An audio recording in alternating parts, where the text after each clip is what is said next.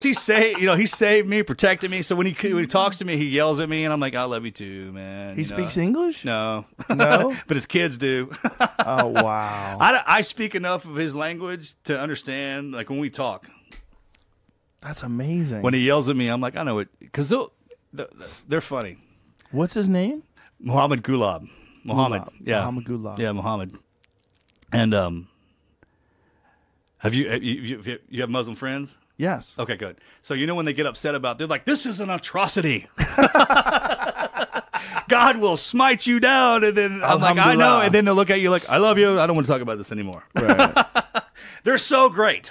They're so great. I mean, if you kind of understand, they're, they're like the like the serious hand. They don't. There's certain things they don't mess around with, and there's certain things that they'll get upset about, but then they'll get over.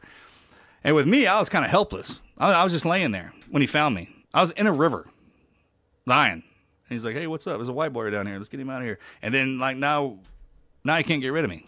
Now he has to live here with me and deal with all that. And I, it's so funny because he has 11 kids. They're you know they're just multiplying. They, they do that. then uh, it's a thing. And uh, I deal with him just like I deal with the other family member. I mean, like I'll never forget him. And people will tell me like, "Why?" You know, he yells at him like, "Man, you don't know what we've been through." When that dude found me, and then uh, he'd been shot. I mean, you can't believe what that dude went through to get get me back here. What he what he put with put up with up to this point. That's why he's here. Because how many times he's been trying? They try to kill him. And so I, you extracted him. not me personally, but I mean, our, you our- had yeah. them. Well, Yeah. I mean, one thing feeds Yes. the other, right? Right. I'll never take credit for anything that everyone else had to put a hand into, but he's here now, dealing with everything else that every other Texan has to deal with, including me. I tell you what, it'd be good ones like get me and him in here together. I would love that. Let's do it. You know how funny that'd be? He yells at me all the time. I'm 100% in. Let's go. Yeah, he's. I think. How great is that? you I be mean, dude, bro. He's like, man, I saved your ass for. I mean, you better get to bit. You You're not to, even president yet. He's like, uh, I mean, he'll get so upset about some stuff, and he's like, "This is, I don't even, God was like, what's for dinner? Let's get that. You know, those, those get over it so quick. Right. They're, they're great. I mean, like, once you learn how they they yell at you, I mean, a lot of people are scared to death of that whole thing. But if you have to, if you have to be saved by it, like if I was helpless, I was freaking helpless. And why did he save you? I was like, God, Spirit, man, he's just a good man. He's a freaking good man. And then I asked him for help. So there's a code. There's a, a Pashtunwali code. And I was laying there and I looked up at him and I was bleeding.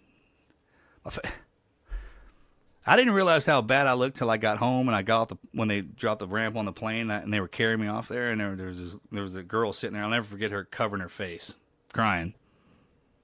I was like, I must have looked a lot worse than I thought. But no matter what I look like, he got me back here. I couldn't believe it. Man, we went through some crazy times out there. Crazy times. I couldn't walk anywhere. I was a big man. They were hauling my ass everywhere around that mountain. I we laid up in the middle of the night. People trying to kill us. Cars blowing up. It was the craziest time. And they were just kind of like, "Hey, it's you know, it's a Wednesday." That's what I thought. I mean, I found. Isn't that crazy? Somebody like that. He didn't owe me nothing. Matter of fact, I probably caused him more grief than I did anything. And no matter how much I try to repay him, it's always a. That's weird. What a situation, right? Yeah. Can't even believe we're talking about this. I should have been dead a long time ago, man. I he come walk. I'll never forget looking at him. I'll never forget his face.